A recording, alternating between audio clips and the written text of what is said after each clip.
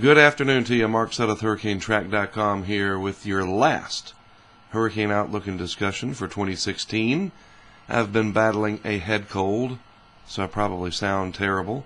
So I'm going to try to be quick on this. It's the off-season edition, of course, not hurricane season any longer, but we do talk about some things that we look for when anticipating next year's hurricane season. And one of those would be the sea surface temperature anomalies and I want to show you where we have come from. Okay, this is remarkable. One year ago, raging El Nino in the tropical Pacific, and this year, very much the opposite. Uh, really hard to call this a La Nina any longer looking at the different indicators through here, but overall temperatures in the equatorial Pacific a lot cooler, clearly, than they were this time last year. And you know, there's been a lot made of how warm 2016 was. Well, you know, this is like going and turning up the thermostat for the globe. It really is. You know, a heat lamp, you know, for your bearded dragon or whatever. You understand? It's like, well, of course it was the one of the warmest years ever.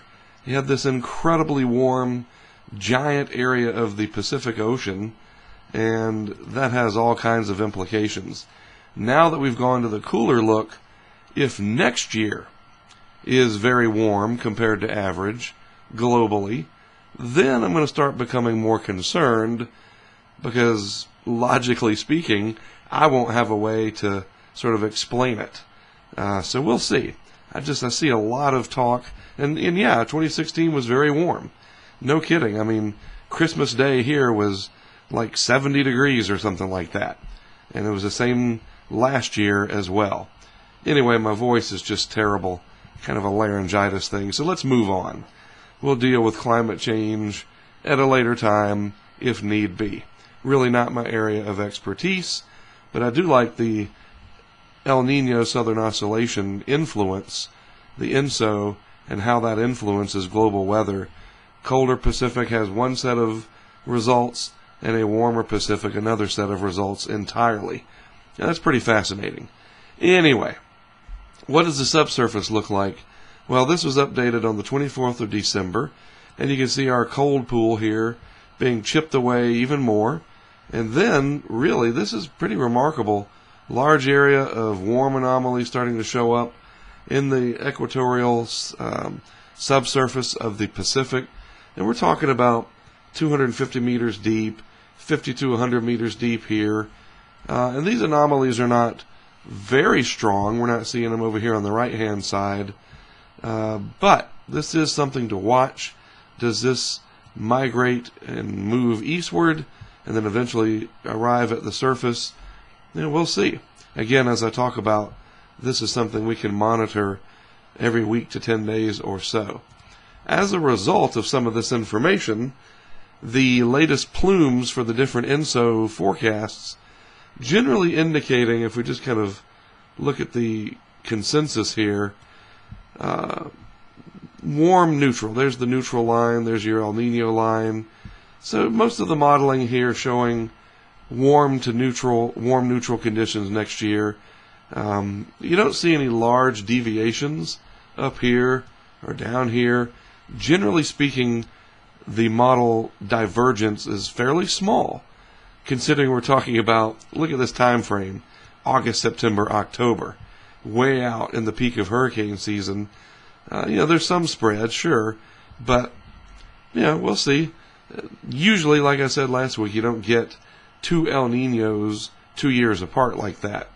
Uh, but you know, some of the modeling indicating perhaps there's a chance, but this far out, there's a lot of predictability uh, barriers literally in the way. You know, first of all, that's way out in time. Things can change, so forth and so on. The standard caveat applies. Well, as we see the neutral green generally fading off as we get into next summer, this is the beginning of the 2017 hurricane season. And lo and behold, by August, September, October, uh, the chances of El Nino up to a little over 35%, or right around 35%, something like that. Neutral coming in just a little bit higher. La Nina um, statistically kind of goes up through this time period. So that's what I'm saying. You look at this, and you don't really have any one indicator jumping out ahead of the other. It's not like the El Nino chances are way up here, and you're not going to see that at this lead time anyway. But it is kind of interesting that the La Nina uh, portion also goes upward at a lower angle or a lower ascent rate, but nevertheless, you know, something to ponder over the months ahead as we await the next big winter storm. And that's what I'll be looking for in the off-season discussion. We talk about lower 48 weather as well, especially when my voice is better. and um, going to lose some YouTube subscribers after today. Oh, I can't listen to that guy anymore. Hey, trust me, this is the worst it's been all year.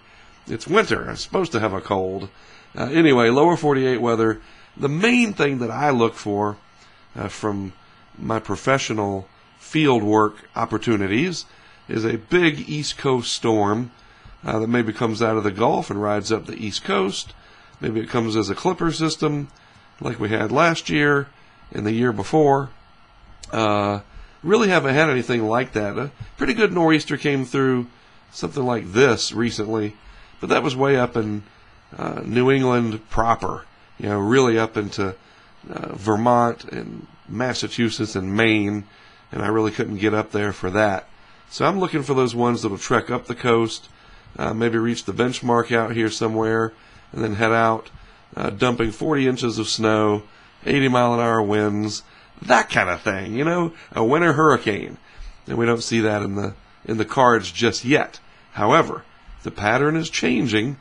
Uh, today, a smattering of different warnings, lake effect snow warnings in the usual places, winter weather advisories, winter storm warnings, and so forth for the Appalachians, and some wind advisories here in these, what would you call that, magenta color? But overall, the map isn't too menacing as we get towards New Year's Eve, big travel period. But things are going to turn sharply and I'm telling you, sharply colder as we get into 2017. And see, there you go. It's you know, you're supposed to have cold periods, but we're going to get rid of this warmth and really chip away, I think, at this idea that, oh, it's permanently warm now, and we're going to start 2017 that way. So let me show you. This is the next seven days on the GFS 500 millibar. Watch this giant trough up here start to evolve as this lobe of the polar vortex sort of breaks off and comes down into the lower 48. At the same time, huge area of rising heights in the atmosphere over here in the Gulf of Alaska, and that sends the uh, lobe of the vortex down. It's just a fancy meteorological term. got a lot of hype in 2014 you know, with not much context. It's a fancy way and a meteorological way of saying really big time cold is coming, not just these transient sort of sharp troughs coming in. And you can see that evolving over the next week here. And I'm just going to jump to the last frame to show you. Uh, by the time we get out to day seven, so this will be the 6th of January, check it out. Huge trough covering a good deal of the lower 48 and this will dig even more after a week's time and then start to move south and east.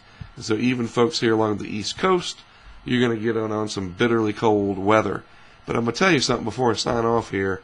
You folks out here in the west, get ready. It is going to be brutal cold and something, you know, that really needs to be taken uh, seriously because some of this cold, believe it or not, is going to be record setting. Now, how long has it been since we've seen record setting cold. All this talk about record setting heat, and with this kind of a pattern, big old ridge of high pressure in the Gulf of Alaska, driving that jet stream and parts of the polar vortex lobe into the southern part of the 48 contiguous states, trouble is brewing for winter weather lovers. It's just a matter of time. And I'll be watching that uh, very closely and drinking lots of water to get my throat back in shape. Uh, and uh, if we do get a a big nor'easter along the east coast, uh, especially if it's going to produce storm surge and a lot of coastal effects with blizzard conditions, then yes, that's something I'm very interested in covering. It helps me keep my skills up, provide some testing opportunities, and so forth. And um, it pays off. It really does.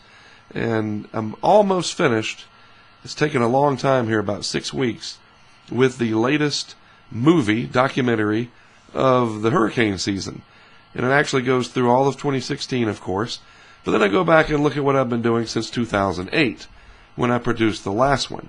And you're going to see that practice, you know, we're not perfect yet, but it certainly helps. And all these testing opportunities that we took when there were no hurricanes really paid off in 2016, and you're going to see that in the um, the documentary as I wrap it up.